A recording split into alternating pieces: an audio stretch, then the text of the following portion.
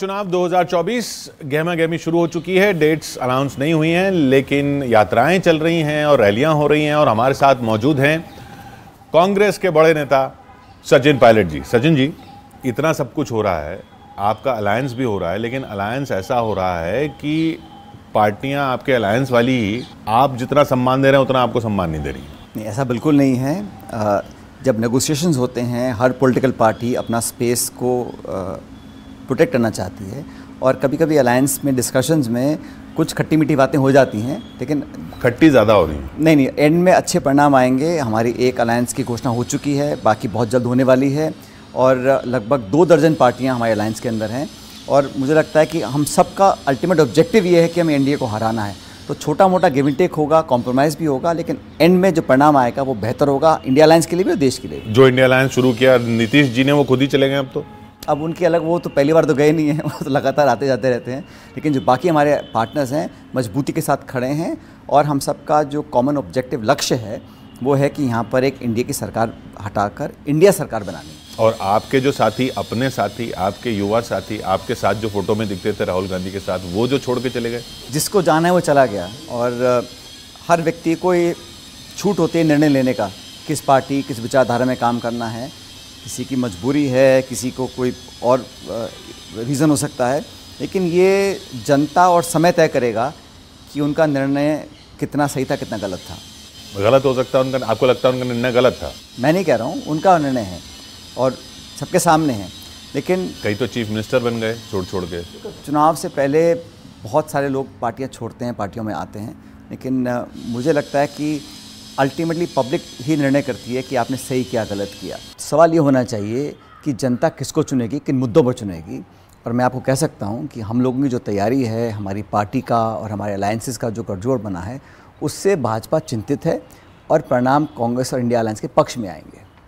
आप कह रहे हैं कि भाजपा चिंतित है? आप चिंतित नहीं इतने सारे लोग एक एक करके छोड़ के जा रहे हैं। आप मैंने कहा ना पार्टी भाई जिनको जाना है वो जा रहे हैं। उनके किसी व्यक्तिगत कारण हो सकते हैं कुछ मजबूरियाँ हो सकती हैं कुछ दबाव हो सकता है। लेकिन सवाल ये है कि अगर भाजपा इतनी कॉन्फिडेंट है कि वो 300 पार 400 पार 500 पार कर रहे हैं तो फिर वो अलग अलग पार्टियों के एक एक नेता को अपने साथ क्यों जोड़ रहे हैं? क्या ज़रूरत पड़ गई उनको जोड़ने की? हर राज्य के अंदर। तो कहीं ना कहीं वो समझ रहे हैं कि 10 साल का जो उनका शासन रहा वो प्रचंड प्रचार और प्रोपेगेंडा के अलावा जो वास्तविकता हैं उसको समझ रहे हैं कि जनता बदलाव चाह रही है जवाब मांग रही है रिपोर्ट कार्ड के आधार पर सवाल पूछने की हिम्मत लोग कर रहे हैं जनता कर रही है। इसीलिए मुझे लग रहा है कि एनडीए को दोबारा से पुनर्जीवित करने का जो एक मुहिम छिड़ी है बीजेपी ने वो इसके इसको देख के की है। वो कह रहे हैं कि हमने तो 370 हमारी तो पक्की है हम तो ये 400 पार के लिए कर रहे हैं। मैं कह रहा हूँ ना ऐसी नारा देना तो बहुत अच्छी बात है चुनाव से पहले लेकिन अगर इतना अति आत्मविश्वास भाजपा के अंदर होता तो ना तो वो बिहार में जो करते, जो उन्होंने किया, वो करते, ना वो कांग्रेस या बाकी दलों के नेताओं को अपने साथ जुड़ने की कोशिश करते। अगर खुद में इतना वो सशक्त होते, मज़बूत होते, अपने परफॉर्मेंस के आधार पर दोबारा इतना बड़ा बहुमत देने की उनमें अगर क्षमता होती तो ऐसा नहीं करते। पर वो जो वो तो चलो नारा दे रहे हैं आप तो नारा भी नहीं दे रहे आप तो बता आप तो ये भी बोल रहे देश नारों से नहीं चलता है ना। देश परफॉर्मेंस से चलता है देश नीतियों पे चलता है गवर्नेंस पे चलता है देश में जो जिन ताकतों को जनता पसंद करती है उनको वोट डालती है वही तो शासन करेंगे। और मुझे नहीं लगता है कि अभी तक कोई ऐसा ब्लूप्रिंट हमारे सामने आया है कि अगर एनडीए या बीजेपी ने कहा हो कि हम पाँच साल में हम ये ये करेंगे वो तो अपनी बात करते हैं कि हम वो तीन तो सौ पार चार सौ 2047 पार 2047 तक का ब्लूप्रिंट दे रहे हैं। नहीं ब्लूप्रिंट नहीं है। वो एक एक सपना दिखाने वाली बात है। ब्लूप्रिंट होता है कि आपका एजेंडा युवाओं के लिए क्या है रोज़गार के लिए क्या है महँगाई को कम करने के लिए क्या है किसानों के लिए क्या है। अब पूरे प्रदेश और देश भर के किसान आंदोलित हैं उनसे क्या आपने वादे किए थे वादा खिलाफी क्यों कर रहे हैं? अ, बहुत सारे मुद्दे जिन पर जनता सरकार और भाजपा की राय जानना चाहती है। लेकिन वो हमेशा ऐसे मुद्दों को लेकर आते हैं जो भावनात्मक हैं या विवादित हैं या जज्बाती मुद्दे होते हैं, ताकि लोगों का ध्यान डाइवर्ट रहे और वो जो मेन मुद्दे हैं, महँगाई का, बेरोज़गारी का, कृषि का, निवेश का, चिकित्सा का, सड़क निर्माण का, गाँव के अंदर मतलब एक तो होता है प्रचार करना, एक प्रोपेगेंडा एक होता है वास्तविकता में धरातल पर हकीकत क्या है? क्या दस साल पहले जो लोगों की ज़िंदगी थी, आज वो बेहतर हो पाई है? क्या हमारे देश में अमीर गरीब की खाई बढ़ी है, कम हुई है?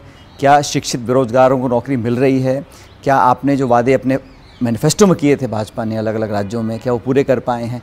इन मुद्दों पर चुनाव होना चाहिए, ना कि किस व्यक्ति ने कौन से पार्टी को क्या बोला या दो हज़ार सैंतालीस का क्या नारा दिया। मैं समझता हूँ वो जनता सब समझ रही है। आप ये बात कर रहे हैं, हकीकत क्या है, धरातल क्या है, हकीकत तो ये है ना, अभी आप ही के प्रदेश में चुनाव हुआ। आप गवर्नेंस की बात कर रहे हैं गवर्नेंस आपने की आप मुद्दे लेकर गए यही वाले आप तो हार गए। आप क्यों हार गए फिर? हर राज्य में अलग परिस्थिति होती है और आप बिल्कुल ठीक कह रहे हैं और अपनी हार को स्वीकार करना कोई कमज़ोरी नहीं है। हम्म। हम मध्य प्रदेश में छत्तीसगढ़ में राजस्थान में चुनाव तीनों चुनाव हारे। हमें उम्मीद थी हम सरकार बना पाएँगे नहीं बना पाए। लेकिन राजस्थान में जो हार का अंतर है वो एक या डेढ़ प्रतिशत है। ये छत्तीसगढ़ में हाल है। एक परसेंट का डिफरेंस है वोट शेयर का भाजपा कांग्रेस में। लेकिन हम हिमाचल प्रदेश जीते हैं, हम तेलंगाना जीते हैं, हम कर्नाटक जीते हैं तो ऐसा नहीं है कि भाजपा की हर जगह जो डबल इंजन का जो नारा देते हैं वो कामयाब होता है। और, बीजेपी या किसी और दल को हराने की क्षमता कांग्रेस पार्टी में है। हम एक चुनाव, दो चुनाव हार जाएँ, जीत जाएँ, इससे भविष्य तय हो जाएगा, ऐसा भी नहीं है। राजस्थान आप हारे, क्या ये आंकलन गलत है कि आप आपस में ही लड़ते रहे, इसलिए हारे? अशोक गहलोत ने आपको निकम्मा, नाकारा, गद्दार कहा। अब उनके ही साथी अब उनके ही साथी पार्टी छोड़ के जा रहे हैं जो उनके साथ थे महेंद्रजीत मालवीय जी। आप तो गद्दार थे और वो उनके साथ थे वो ही पार्टी छोड़ के जा रहे हैं। अब देखो अतीत में मैं नहीं जाना चाहता हूँ किसने क्या बोला नहीं कहा किन शब्दों का प्रयोग किया वो सब बात पुरानी हो गई है। और मुझे तो जैसा मैं बार बार कह चुका हूँ मुझे राहुल गांधी जी खड़गे जी ने कहा कि भूलो और माफ़ करो और आगे बढ़ो। और आपने माफ़ कर दिया अशोक गहलोत को। मैंने देखो, हमने प्रदेश हित में, पार्टी हित में, देश हित में ये कहा कि हम चुनाव जीतेंगे तो भाजपा को हम रोक पाएँगे। और चुनाव जीतना बहुत इंपॉर्टेंट है हमारी पार्टी के लिए। तीस साल से राजस्थान में हम कभी दोबारा चुनाव जीते ही नहीं। हम चुनाव लड़ते हैं, दो सौ सीटों की विधानसभा है, कभी बीस पे आते हैं, कभी पचास पे आते हैं। तो इस बार हमें लगा था हम मेहनत कर चुनाव में दोबारा जीत हासिल कर सकते हैं। दुर्भाग्यवश वो नहीं हो पाया। फिर भी हमारी परफॉर्मेंस ठीक थी। हम लगभग सत्तर हम हमारे जीत के आए एम जीत के आए। लेकिन जो हो गया वो तो पीछे निकल गया ना। आने वाला समय लोकसभा चुनाव का है। उसके लिए हम लोग मिलकर मजबूती से तैयारी कर रहे हैं। उसमें वो कारण नहीं था आपको दरकिनार करना। देखिए कोई किसी को दरकिनार नहीं कर सकता है। और कोई एक व्यक्ति ना तो चुनाव जिता सकता है ना हरवा सकता है। जीत भी पार्टी और टीम की होती है हार भी पार्टी और टीम की होती है। और इस हार को हमने स्वीकार किया है। हाँ लेकिन मैं मानता हूँ कि अगर हम कुछ अलग करके देखते इस बार तो शायद हम दोबारा चुनाव जीत सकते थे और हम बहुत पीछे भी नहीं रहे। जैसे मैंने कहा सत्तर सीटें जीते हैं और एक सौ एक का बहुमत है। तो कुछ हम अगर अलग करते कुछ और थोड़ा प्रयास करते तो शायद हम चुनाव जीत जाते। बहरहाल चुनाव जैसे मैंने कहा जीत भी सबकी और हार भी सबकी आपने कहा कि पिछली बार जब आप हारे थे आप पूरी यात्रा वगैरह लेकर गए पूरे राजस्थान में सब जगह गए और फिर आपने जीत हासिल की। आप उसमें प्रदेश अध्यक्ष थे। रेवंत रेड्डी रेवंत रेड्डी ने भी यही किया।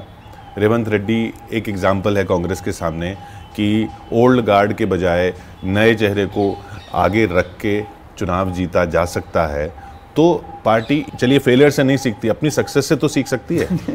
तो मैं तो आप जो कह रहे हैं हमेशा इसका पक्षदार रहा हूँ कि हमेशा नई पीढ़ी के अच्छे नौजवान मज़बूत लोगों को हमें आगे लाना चाहिए। हम्म। जब मैं प्रदेश का अध्यक्ष था राजस्थान में तब मैंने नौजवानों को बहुत मौके दिए। इस बार भी मैंने नौजवानों के लिए बहुत पैरवी करी उनको टिकट दिलाने की बात करी और जनता भी पार्टी के इस सकारात्मक निर्णय को पसंद करती है। आप अगर डेटा देखेंगे तो जितने हमने यंग लोगों को टिकट दिया है उसमें से अधिकांश चुनाव जीत कर आए हैं।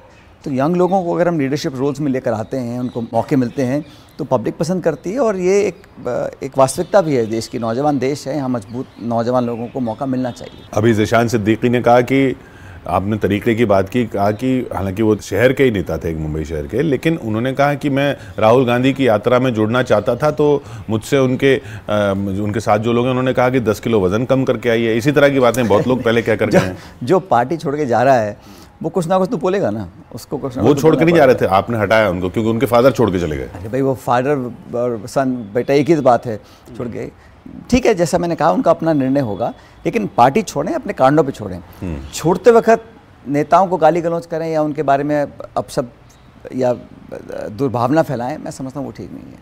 आपके बारे में तो अपशब्द कहे गए।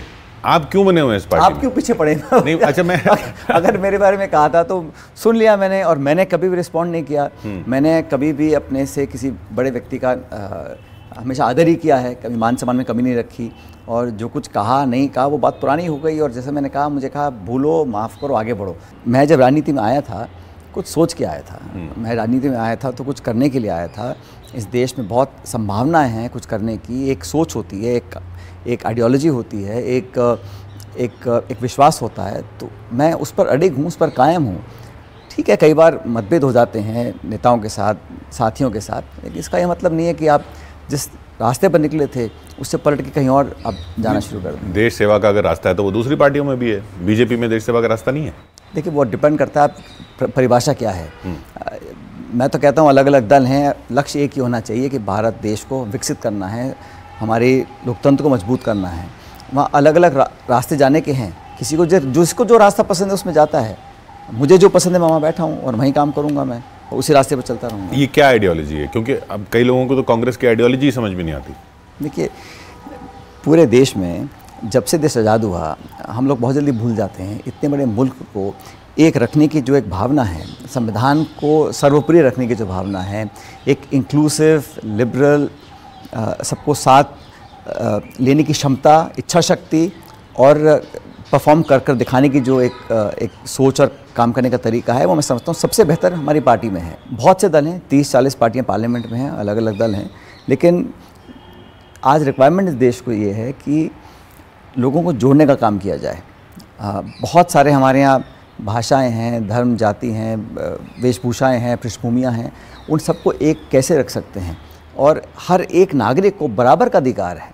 आज जो मणिपुर में घटना घट रही है, अगर किसी और राज्य में होती, शायद उसका रिएक्शन दूसरा होता। लेकिन वहाँ पर रहने वाला इंसान भी, इस देश का नागरिक है, वहाँ के लोगों को उतना अधिकार है एक सेफ्टी का सिक्योरिटी का, अपने जीवन जीने का। तो उन सबको जोड़ने का जो काम कर सकता है, मैं समझता हूँ वो कांग्रेस का प्लेटफॉर्म सबसे बेहतर प्लेटफॉर्म है।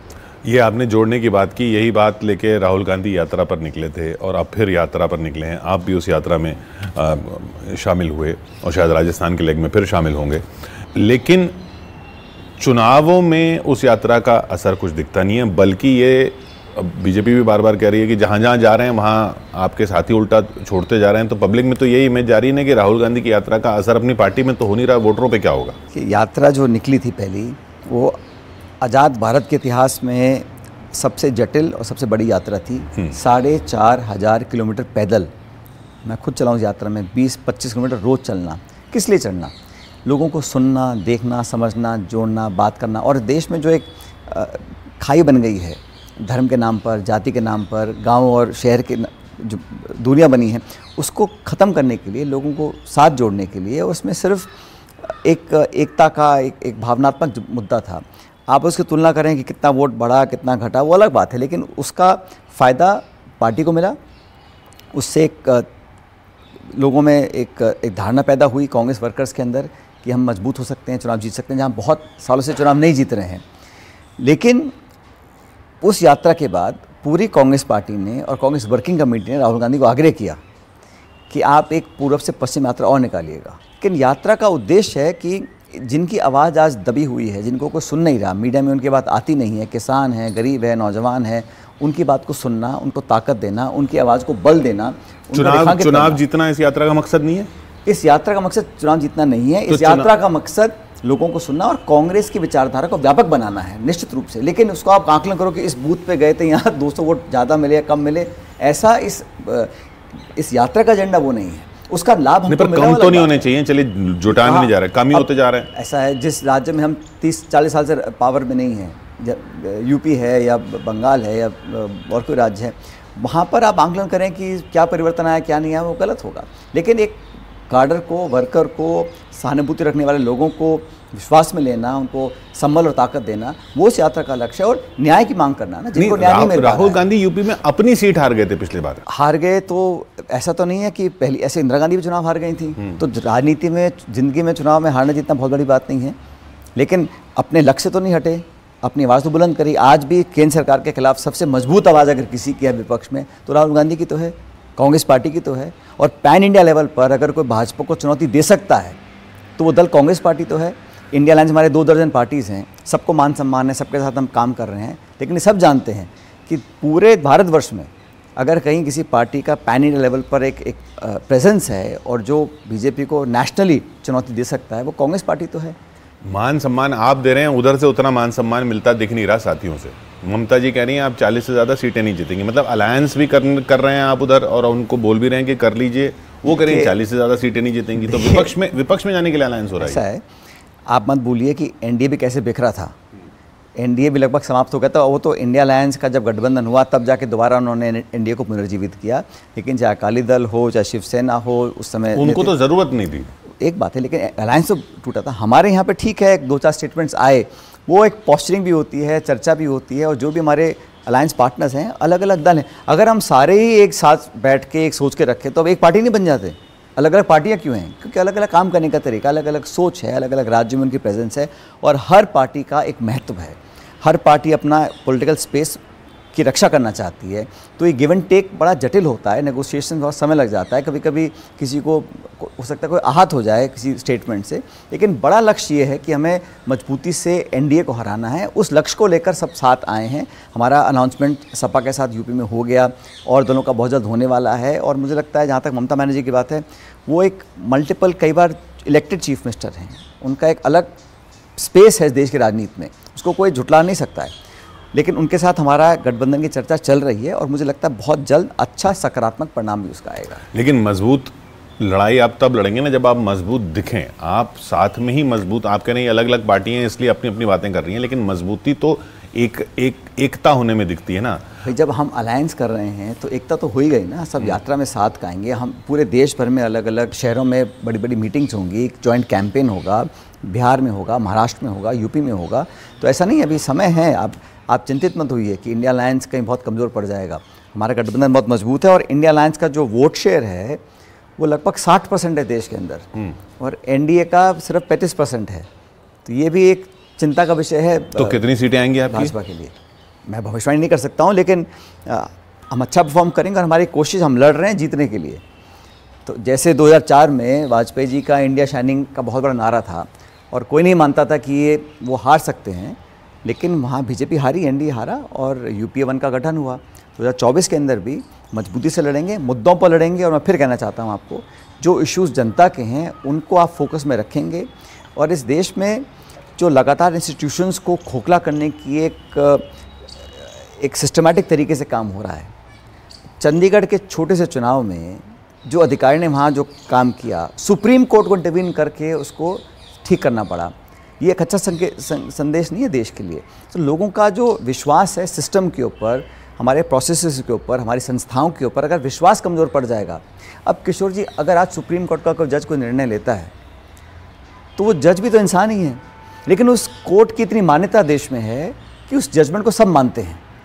अगर उस इंस्टीट्यूशन की क्रेडिबिलिटी डैमेज हो जाएगी, कल लोग सवाल उठाएँगे तो चाहे इलेक्शन कमीशन है, चाहे न्यायपालिका है हाई कोर्ट है सुप्रीम कोर्ट है, बाकी हमारे इंस्टीट्यूशन हैं, जिनको सत्तर साल से अलग अलग सरकारों ने पोषित किया है, उनको तब अच्छा बड़ा बनाया है, उनकी क्रेडिबिलिटी विश्वसनीयता, उनकी फंक्शनिंग उनकी एलिजिबिलिटी क्राइटेरिया नियुक्त करने का, अगर वो सब संदेह के देरे में आ जाएगा तो फिर लोगों के अंदर विश्वास कैसे नहीं पर संदेह ऐसे तो नहीं होना चाहिए कि जब वो चंडीगढ़ पे फैसला आए तो अब तो सुप्रीम कोर्ट की बड़ी क्रेडिबिलिटी है। लेकिन जब आप जहाँ जहाँ हार जाओ वहाँ पे आप बोलो कि इंस्टीट्यूशंस कॉम्प्रोमाइज हो गई मैं जनरली बता रहा हूँ कि हम्म। हमारे आसपास के जो मुल्क हैं पाकिस्तान में जो हो रहा है आप नहीं देख रहे हैं क्या? वहाँ एक्स प्राइम मिनिस्टर जेल में है चुनाव कोई जीत रहा है पीएम तो कोई बन तो तो नहीं है ना। मैं कह रहा हूँ वहाँ क्यों है मैं कहना चाह रहा हूँ आपको? अलग अलग राज्य जो कंट्रीज़ हैं नेपाल है श्रीलंका है म्यांमार है पाकिस्तान। वहाँ पे डेमोक्रेसी इतनी जड़ें मज़बूत नहीं कर पाई क्योंकि वहाँ के इंस्टीट्यूशंस कमज़ोर हो गए हैं सत्तर सालों में। हमारे इंस्टीट्यूशन बहुत स्ट्रॉन्ग हैं और स्ट्रॉन्ग रहने चाहिए। उन इंस्टीट्यूशंस की फंक्शनिंग पे अगर सवाल उठेगा, चाहे मीडिया भी हो, अगर लोगों के अंदर एक धारणा पैदा हो जाएगी, शक, आशंका पैदा हो जाएगी, जो आपने कहा इलेक्शन कमीशन का, मैंने कभी आरोप नहीं लगाया।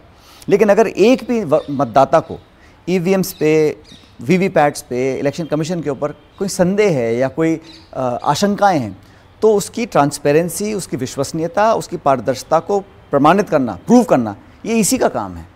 किसी के मन में डाउट नहीं होना चाहिए। अगर डाउट्स पैदा होते तो क्लैरिफाई करने चाहिए और अगर हम क्लैरिफाई नहीं करेंगे तो वो जो एक सुप्रीम एक लेजिटिमेसी है वो कहीं ना कहीं कमज़ोर पड़ सकता आप आप मानते हैं ईवीएम में ईवीएम ठीक नहीं है? मैं कहता हूँ अगर कोई संदेह है उसको क्लैरिफाई करना चाहिए। किसी को डाउट नहीं होना चाहिए। वो तो उन्होंने पिछली बार भी कहा था कि आप आगे साबित कर दीजिए अगर कुछ संदेह है तो। वो किसने क्या किया फिर अलाउ नहीं किया वीवीपैट की रसीद क्यों नहीं मिलती हैं कितनी परसेंट मिलती हैं ये सब टेक्निकल इश्यूज़ हैं लेकिन मुझे लगता है अगर किसी संस्था दल नेता पार्टी जनता मतदाता को किसी भी प्रोसेस के ऊपर इलेक्शन कमीशन या ई वी एम वी के ऊपर का डाउट होता है तो उसको पूरी तरह संतुष्ट करने का काम इलेक्शन कमीशन वो कहते हैं ये वो पार्टी कह रही है जिसने इमरजेंसी लगाई थी। अब ऐसे तो आप बहुत पीछे जा सकते हैं कि किस पार्टी ने क्या किया था उसका इमरजेंसी लगाई थी आप बिल्कुल ठीक कह रहे हैं। हम्म। उसके बाद जनता ने इंदिरा जी को चुनाव हराया। बिल्कुल ठीक। ढाई साल के बाद उसी जनता ने दोबारा कांग्रेस को प्रचंड बहुमत दिया था। तो किसी को सोचना नहीं चाहिए कि जनता हमेशा हमेशा के लिए हमारी जेब में रहेगी। पब्लिक बहुत समझदार है वो मौका देखती है व्यक्ति देखती है निर्णय को देखती है परफॉर्मेंस को देखती है। तो ये धारणा जो आप कह रहे हैं कि हम चुनाव दो विधान दो राज्य में हार गए चार राज्य में हार गए दो लोकसभा हार गए हम दो लोकसभा हारे हैं ना? दो जीते भी तो थे। 2004 में और अ, 2009 में। दो बार लोकसभा चुनाव जीते भी हैं दो बार हार गए हैं अब फिर दो दो हाथ होंगे 2024 में पता पड़ेगा कौन जीतता है कौन हारता है। अब तो ये हालत है कि ऐसा देखना है कि आपको लीडर ऑफ़ ऑपोजिशन मिलता है नहीं मिलता उसके लिए चौवन सीटें चाहिए। ऐसी आप ये भूमिका बना रहे हैं भविष्यवाणियाँ कर रहे हैं किस आधार पर कर रहे हैं? मैं कह रहा हूँ कि आप इनकम देख लो इनकम इनकम डिस्पैरिटी देख लो किसानों के हाल देख लो नौजवानों के हाल देख लो महँगाई के हाल देख लो मिडिल क्लास के हाल देख लो चीन लगातार हमारी सीमाओं में आक्रमण करके घुसता चला जा रहा है। तो जवाब देना पड़ेगा ना। दो करोड़ लोगों को रोज़गार देने का वादा बीजेपी ने किया था। बीजेपी ने कहा कि हम किसान की आमदनी दुगनी करेंगे और जब तीन काले कानून वापस लिए थे तो कहा था कि एमएसपी पर एक लीगल गारंटी लेकर आएँगे। हमारी पार्टी ने खरगे जी राहुल जी ने छत्तीसगढ़ अंदर ये वादा किया है कि हमारी सरकार बनेगी तो एमएसपी पे लीगल गारंटी लेकर आपकी आएँगे। जब सरकार थी तब आप इस इस व्यू के नहीं थे? हम बिल्कुल इस व्यू के थे। अब आप इतिहास में जाना चाहते हैं जैसे स्वामी स्वामीनाथन कमीशन रिपोर्ट जब आई थी हम लोगों ने इसको स्वीकार करके स्टेट्स को दिया था। उस सारे स्टेट्स से बात करने के बाद हम लागू करना चाह रहे थे उसको 2013 में। फिर चुनाव आ गए। लेकिन 10 साल से तो सरकार बीजेपी की है। उनको दे रहे हैं भारत रत्न अच्छी बात है। लेकिन उस बंदे ने जो किया है उसको लागू क्यों नहीं करे चलो मत लागू करो। इन किसानों ने क्या क्या बुरा किया है? आपने वादा किया एमएसपी पे हम कानून लेकर आएँगे। आप पूरा नहीं कर रहे हैं। आप यहाँ आँसू गैस डाल रहे हैं फायरिंग कर रहे हैं रबर बुलेट चला रहे हैं पूरी घेराबंदी कर रखी है। तो किसानों को ना तो वो प्रोटेस्ट कर सकते ना अपनी बात रख सकते। आप वादे करते हो वादा खिलाफी करते हो फिर भी आप कह रहे हो कि आप पूरा बहुमत लेकर आएँगे। किस आधार पर कह रहे हैं? उनके कई मुद्दे हैं उनके कई आपने कहा बिंदुओं पर वो बात करते हैं। एक बात जो वो करते हैं और जनता सुनती है और जनता फिर पूछती है राम मंदिर। आप राम मंदिर जाएँगे? आप एज सचिन पायलट क्यों नहीं जाऊँगा? जब मेरा मन करेगा तब मैं जाऊँगा। जब मुझे बुलावा आएगा तब जाऊँगा। दस बार जाऊँगा। किसका बुलावा? कि जब मेरे भाई मैं जब जाता हूँ तिरुपति या वैष्णो देवी तो मैं किसी का निमंत्रण आता है मेरे को या मेरे को किसी की मेरे को इजाज़त चाहिए। लेकिन ये जो ठेका है ना कि भाई इस दिन इस वक्त जब निमंत्रण आएगा तब आप जाएँगे तो अच्छे हैं। और वो पाँच हज़ार लोग ही हैं जो जा सकते हैं वहाँ पे। बाकी जो सौ करोड़ हिंदू हैं वो नास्तिक हैं उनको निमंत्रण क्यों नहीं दिया? सिर्फ़ नेता अभिनेता और इंडस्ट्री इन्हीं को न्यौता दिया। और कौन देने तो वाले इल्ज़ाम तो ये ना कि आपने तो बनने नहीं दिया था ये मंदिर। ये मंदिर तो ये आप अब इतिहास किसने खुलवाया था किसने क्या किया था छोड़ दीजिए। ये जो निर्माण हुआ है माफ़ कीजिए ये निर्माण सुप्रीम कोर्ट के निर्णय के बाद हो रहा है। सुप्रीम कोर्ट सर्वोच्च न्यायालय के निर्णय के बाद सभी पक्षों ने उसको माना और हमने सहर्ष उसका स्वागत किया कि एक भव्य मंदिर बनना चाहिए क्योंकि कोर्ट ने बोला है। ये किसी नेता किसी दल या किसी नहीं मुद्दा तो उनका था मैनिफेस्टो में उनका था। मैं कह रहा हूँ ये मुद्दा किसी का भी हो निर्णय सुप्रीम कोर्ट का था। उस कोर्ट के निर्णय को सबने माना है स्वागत किया है। लेकिन राम सिर्फ़ उस, उस एक मंदिर में ही है क्या? राम तो कण कण में है। राम हर प्राणी में हर जीव में है। पूरी सृष्टि में है। जब मन करेगा हम जाएँगे क्यों नहीं जाएँगे? और दमखम के साथ जाएँगे। लेकिन ये लेंस में लगा के देखना कि इनवाइट किया कि नहीं किया किसको किया कौन गया नहीं गया ये थोड़ा राजनीति होती है। धर्म अलग है। देखो धर्म और आस्था it's a matter of home and heart हम हम किसकी पूजा करते हैं किसका भजन गाते हैं कब व्रत रखते हैं क्या कपड़े पहनते हैं ये हमारी अंदर की भावना है। इस ये it is not matter of state governance शासन संविधान राजनीति अलग होती है। धारणा भजन भक्ति ये हमारी अंदरूनी भावना है। ये डिक्टेट नहीं कर सकता कि शासक कैसा होगा। संविधान सबका है सब धर्मों के लिए सब जातियों के लिए है सबको बराबर की दृष्टि से देखना पड़ेगा। यही राजधर्म बोलता है। राजधर्म ये नहीं बोलता है कि आप अपनी धार्मिक भावनाओं को शासक प्रकट कर कर उसका पॉलिटिकल फ़ायदा ले ले। ये कभी राजधर्म नहीं रहा। आपकी छवि ये है कि आप माइनॉरिटीज के वोट लेने के लिए तो उनके धर्म के तो सिंबल्स को अपना लेते हैं। लेकिन हिंदू धर्म के सिंबल्स को अपनाने में आपको बिल्कुल गलत है हो- किशोर जी आप प्लीज़ मेरी बात सुन लीजिए। आप मेरा इंटरव्यू ले रहे हैं। किसी भी धर्म का कोई भी व्यक्ति हो वो इस देश का नागरिक है और वहाँ विवाद समाप्त हो जाती है। वो किस धर्म की पालना करता है वो डिक्टेट नहीं करता कि आपको क्या मिलेगा क्या नहीं मिलेगा। ये बड़ा क्लियर होना चाहिए माइंड में। और ये बात हिंदू मुसलमान की करना मैं समझता हूँ गलत है क्योंकि इस देश में और भी धर्म हैं और सब बराबर के नागरिक हैं और उन बराबर का अधिकार देश के अंदर है। लेकिन किसी एक का साइड लेके दूसरे को आप तराजू में तोलें वो गलत मानता हूँ उसको मैं। तो ये बताइए इनमें सचिन जी आप अपना क्या भविष्य देखते हैं? भविष्य? पार्टी में पार्टी से बाहर आप सेंटर में राजस्थान आप में? मुझे बताइए आपका एजेंडा क्या है? आपने शुरुआत करी थी तब आपने पूछा अब आप एंड कर रहे हैं ये पूछ रहे हैं अब आपको सर्टिफिकेट मैं ला के दूँगा या आप मुझसे लेंगे? मेरा तो मेरी पार्टी लीडरशिप और मेरी पब्लिक और जनता। लीडरशिप मतलब? जो कांग्रेस के लीडरशिप है आज उन्होंने मुझे ज़िम्मेदारी दे रखी है मैं इस पार्टी का महासचिव हूँ मुझे एक स्टेट की रिस्पॉन्सिबिलिटी दी है। ऑब्वियसली मेरी पहली प्रायोरिटी वहाँ रहेगी मैं वहाँ पे पार्टी का अच्छा परफॉर्मेंस करके दिखाऊँ। आप जब लीडरशिप की बात करते हैं पार्टी की तो इल्ज़ाम ये लगता है कि आपकी पार्टी की लीडरशिप तो मतलब एक परिवार है और यही परिवारवाद है जो परिवार पार्टी चलाएँ। तो आप एक परिवार की बात कर रहे हैं आपकी पार्टी एक परिवार चला रही है। मुझे पता नहीं आप ऐसा क्यों कहते हैं, क्योंकि आप जानते हैं कि कांग्रेस पार्टी में चुनाव हुए। ऐसी कौन सी पार्टियाँ चुनाव होते हैं? पहली बात मुझे बताइए। अभी हमारे बीजेपी के अध्यक्ष नड्डा साहब हैं। दोबारा उनको एक्सटेंशन मिल गया। किसने नामांकन भरा? किसने वोट डाले? कैसे चुने गए? किसी को पता ही नहीं है। वहाँ तो आप नहीं पूछते हैं। हमारी पार्टी में जहाँ चुनाव हुए, मतपेटियाँ रखी गई, वोट डाले गए। दो लोग लड़े चुनाव या तीन लोग। थरूर साहब लड़े खरगे साहब लड़े। वो चुनाव जीते। इलेक्टेड निर्वाचित हमारे अध्यक्ष हैं। उनको तो आप कह रहे हो कि आप पार्टी नहीं चला रहे हैं। अब राहुल गांधी यात्रा कर रहे हैं मैं राजस्थान में यात्रा करता हूँ कोई और यात्रा करता है तो पार्टी का काम कर रहे हैं सब मिलकर करते हैं। लेकिन हमारे यहाँ चुनाव हुआ एक वर्किंग कमेटी है राहुल गांधी सिर्फ़ एक एमपी है। पूर्व अध्यक्ष हैं पार्टी के। हम्म। और बड़े नेता तो पार्टी के वही दिखते हैं ना। तो अच्छी बात है उसमें क्या बुराई है अगर देखते हैं? तो वही चला रहे हैं अगर उन अगर वो कार्यकर्ता ज़्यादा अट्रैक्ट होते हैं या वो पार्टी को ज़्यादा लाभ दे सकते हैं अपनी क्षमता के आधार पर हर एक काम करते हैं। वो पार्टी में कुछ नहीं तय करते। सलाह सब करते हैं हमसे भी सलाह करते हैं। अगर खरगे जी को निर्णय लेना है तो सोनिया जी हों चाहे मैं हूँ चाहे राहुल गांधी हों उनसे बात करके करते हैं कंसल्टेशन होता है। हमारे यहाँ वैसा नहीं है जो बाकी दलों में आप सोच रहे हो कि बस एक आदमी बोल दिया सारा काम हो गया। चर्चा समाप्त होती है और कंसल्ट करने में क्या बुराई है? अगर कल खरगे जी और सोनिया जी बैठ के बात करते हैं कि हमें ये ये काम करना चाहिए तो उसमें किसी को आपत्ति है? क्यों होनी चाहिए? उनमें सोनिया जी की चलेगी या खरगे जी की चलेगी जब ये बात होगी तो? हमारा अध्यक्ष कांग्रेस के मिस्टर खरगे हैं। हम्म। खरगे जी ही अंत में निर्णय लेते हैं क्या करना है नहीं करना वो सलाह कंसल्टेशन सुझाव फीडबैक ले सकते हैं।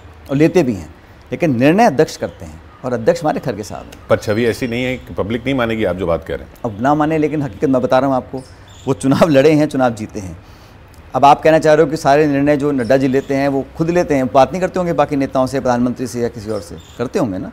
तो प्रणाली है प्रक्रिया होती है उसमें क्या आपत्ति है किसी को? चलिए अंत में सीटों का बात तो आपने नहीं बताई कि कितनी सीटें जीतेंगे आप करेंगे बहुमत आएगा राजस्थान में बताइए राजस्थान की 25 सीटों में कुछ जीतेंगे इस बार? देखिए वहाँ पिछले दो चुनावों में हम लोग एक भी सीट नहीं जीत पाए हम्म। हकीकत है। लेकिन 2019 के चुनाव एक विशेष परिस्थिति में चुनाव हुए थे मुझे लगता है। एक अलग वातावरण बन गया था।